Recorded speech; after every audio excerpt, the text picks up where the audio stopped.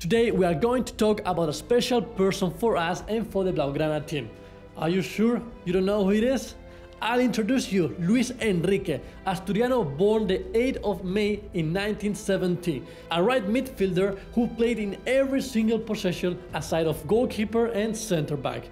Between the years 1991 and 2004 he played for Real Madrid and Football Club Barcelona.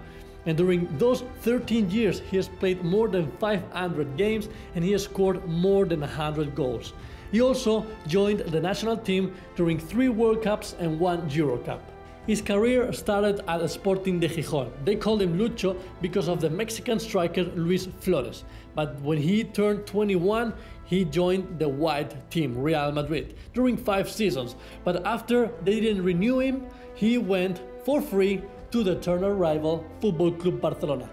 At the beginning, the culés were not that happy with the signing, but Lucho gained their heart very fast, staying in the Blaugrana team for 8 years.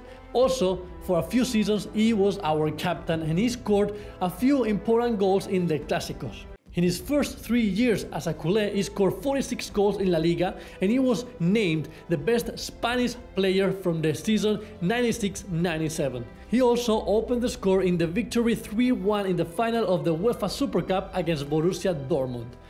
But his last years were a little bit hard because of the injuries, so he decided not to renew his contract because he knew he couldn't give the level that he would like to.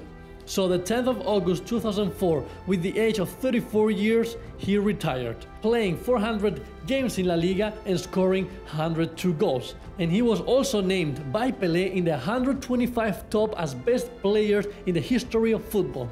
With Barcelona as a player, he won two leagues, two Spanish Cups, one Super Spanish Cup, one UEFA Super Cup, and with the national team, the Olympic Games 1992.